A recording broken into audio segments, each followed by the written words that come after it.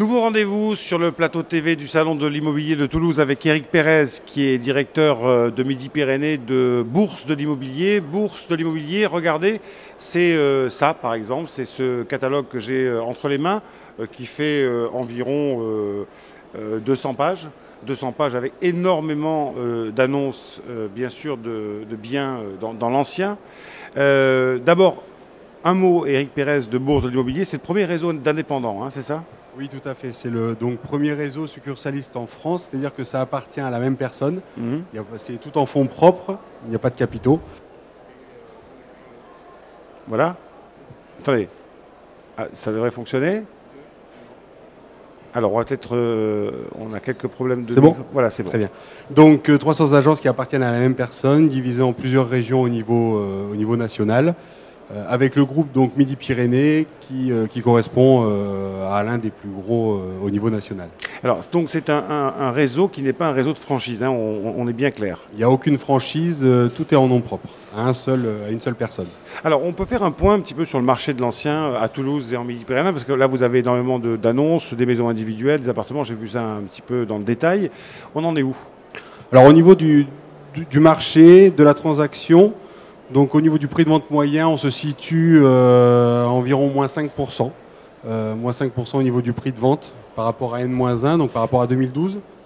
En nombre de transactions, nous, on réalise euh, une augmentation de plus de 20%. Donc depuis le 1er janvier, aujourd'hui, on a dépassé les, 550 transactions. donc c'est une belle performance. à ça est lié avec un taux très attractif entre 3 et 4% aujourd'hui avec euh, donc un prix de vente moyen baissier, on a, eu, euh, on a eu une augmentation du nombre de transactions. Alors je voyais tout à l'heure, enfin j'entendais tout à l'heure euh, le représentant de Logikimo qui publie régulièrement un observatoire du, moral des, acquéreurs et qui concluait en disant que les, acquéreurs étaient un petit peu sur, le, enfin, sur la, la retenue et de l'autre côté, les vendeurs étaient très vigilants à leur, alors j'allais dire leur marge, pas leur marge, leur niveau de négociation. C'est-à-dire que la transaction était difficile à réaliser parce que d'un côté comme de l'autre, on ne faisait pas le, pas nécessaire. Est-ce que vous, connaissez ce phénomène vous aussi? Alors effectivement, ce phénomène, il a lieu dans le sens où le nombre d'offres euh, sur le marché n'est pas en augmentation. C'est-à-dire que euh, en termes de, mandat de vente, euh, nous sommes à plus 2, plus 3% par rapport à l'année dernière. Donc ça reste une offre relativement stable. C'est-à-dire qu'on n'a pas, pas de grand choix au niveau, euh, au niveau demande pour les acquéreurs. Mais euh, pour euh, les, vendeurs, il y, a effectivement cette, cette je, alors je sais pas comment vous pourrait qualifier ça, cette espèce de frilosité à dire bon ben, ok, je vais aller au-dessus de, au-dessus de 5%, 10%, 12% de négociation. Vous remarquez ce phénomène aussi? Alors, le phénomène est surtout lié par rapport à un bien en France, on le garde en moyenne 8 ans. Mmh. Donc ça veut dire que là, on attaque sur des prix négocié où l'acquisition a été très élevée. Euh, on a connu tous. Oui, c'est 8 ans, c'est voilà, c'est ça, c'est à peu près l'époque. Oui. Voilà, 2005-2006 où ça a été un marché où on a euh, où ils ont acquéri euh, mmh. au niveau de leurs biens au plus haut. Donc en termes de question de, de, négocier au-delà de 5%, on va dire. Alors il y a, y a la possibilité qui rentre en jeu, c'est-à-dire que la négociation, effectivement, soit on peut, soit on ne peut pas au niveau effectivement le restant du bancaire. Alors, on va essayer de tous les deux voir ce qui se vend bien et ce qui se vend moins bien euh, dans l'ensemble des biens qui sont sur ce catalogue. Qu'est-ce qui se vend bien aujourd'hui en Toulouse-Midi-Pyrénées, dans l'ancien?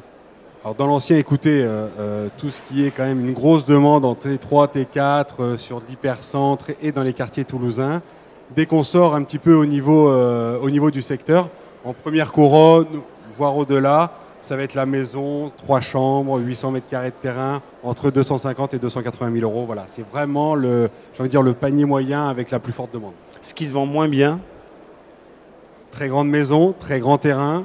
Euh, pourquoi? Beaucoup d'entretien. Aujourd'hui, les gens sont quand même euh, de plus en plus euh, frileux au niveau, au niveau consommation d'énergie, au niveau, au niveau entretien, au niveau proximité. Ils vont préférer quand même avoir un petit peu moins grand et se rapprocher euh, des centres urbains que de effectivement s'écarter et d'avoir très grand. Alors qu'est-ce qui fait finalement le, lien entre les 300 agences? Je crois qu'il y en a 29 en Midi-Pyrénées, vous avez des objectifs assez ambitieux d'ailleurs C'est ça, 27 aujourd'hui, nous sommes voilà, deux, euh, deux en cours d'ouverture. Donc, 29 avec un objectif à? À 2014-2015, euh, on va dépasser les 40 agences. Donc ça, c'est un achat, un rachat d'agence. Hein soit rachat d'agence, reprise de fonds mais de commerce. Voilà, principalement Reprise de fonds de reprise de fonds, tout à fait. Qu'est-ce qui fait le lien entre ces 300 agences? Autrement dit, qu'est-ce qui est la marque de fabrique de Bourse de l'immobilier? Ça va être le maillage euh, principalement en toile d'araignée, c'est-à-dire qu'entre deux agences, s'il y a un marché euh, où effectivement nous ne sommes pas présents, on va essayer d'aller euh, d'aller donc mailler euh, ces, ces agences. Quelles sont les régions sur lesquelles vous êtes les plus présents? Bordeaux-Toulouse. Aquitaine, Midi-Pyrénées. Oui, tout à fait. Après, effectivement, on, retrouve hein, Rhône-Alpes, euh, effectivement, euh, euh, d'autres régions comme la Bretagne, l'Île-de-France, bien évidemment. Vous êtes ici sur le salon de l'immobilier de Toulouse, en force. Je crois que vous avez plus d'une vingtaine de collaborateurs sur votre stand. Alors donc nous on est euh, 28 collaborateurs par demi-journée sur le stand effectivement. Donc, ce sont souvent des, des, des- des responsables d'agence qui viennent? Responsables et collaborateurs, non non et négociateurs également. Donc, l'objectif pour vous, c'est clairement de vendre ici au salon de l'immobilier de Toulouse. L'objectif premier est de prendre du contact. Prendre du Et contact. ensuite on, on- on traitera justement tous ces prospects en retour en agence.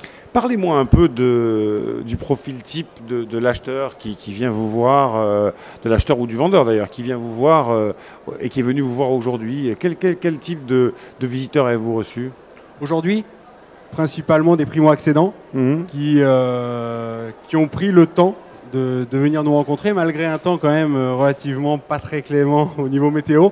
Mais euh, voilà, c'est souvent euh, primo-accédants, euh, jeunes couples avec bébé en bas âge, c'est ce qu'on a vu aujourd'hui principalement. Parlez-moi aussi des pièges qu'il faut éviter justement quand on est primo-accédant, quand on a peu d'expérience, quand on... On dit toujours que dans un acte d'achat, il y a 50% de coup de cœur et puis 50% de raison et qu'il faut laisser le coup de cœur de côté quand on achète parce que c'est la raison qui l'emporte le plus souvent. Quels sont les, grands, les grands pièges à, éviter pardon, ou à inviter, pourquoi pas, quand on, quand on achète pour la première fois? Bah, écoutez, j'ai envie de dire, le, la règle d'or dans une acquisition dans, dans l'ancien et dans le neuf, je pense, c'est d'avoir les yeux plus gros que le ventre. C'est-à-dire que euh, c'est de commencer à visiter avant d'avoir fait un calcul financier avec une enveloppe. C'est-à-dire qu'on va commencer à visiter des produits pour lesquels on peut, effectivement, on risque d'avoir des coups de cœur, et en fait qu'on ne va pas pouvoir acquérir. Ah bon? Ça peut arriver, exactement. Ça, c'est vraiment le, le risque premier, c'est-à-dire de se positionner à un niveau où on ne peut pas aller. Exactement. Et alors comment on fait pour... euh, On va voir d'abord euh, les établissements bancaires qui sont là, nombreux combien pouvez-vous me prêter? Exactement. Et suite à ça, on cale effectivement euh, leurs nécessités et leurs besoins. Après, sur des, des- aspects purement opérationnels, quand on achète, il faut se renseigner sur, j'imagine, euh, le niveau euh, d'impôts locaux. Enfin, il y, y a pas mal de choses. L'état de la maison. euh, Là aussi, vous avez, j'imagine, une expertise en tant qu'agent immobilier. Oui, alors effectivement, il y a l'état de la maison, de la maison mais j'ai envie de dire en tout premier lieu, on achète une qualité de vie. Aujourd'hui, ce n'est plus le bien proprement dit. Pourquoi Parce qu'on on sait très bien que euh, la clientèle numéro une des magasins de bricolage et de décoration, ce sont les femmes. Donc euh, ça ne fait plus peur à personne de faire des modifications. Voilà, exactement, de faire des modifications, d'apporter sa touche personnelle, la décoration. Donc effectivement, c'est vraiment la qualité de vie et ce qu'on va pouvoir y apporter. Éric Pérez, merci beaucoup d'être venu nous voir sur le plateau TV du Salon de l'Immobilier. Vous êtes, je le rappelle, le directeur pour Midi-Pyrénées de Bourse de l'Immobilier, le premier réseau indépendant français d'agences immobilières, 300 agences euh, qui ont tout un, lien charnel entre elles, qui sont toutes aussi indépendantes sur leur territoire.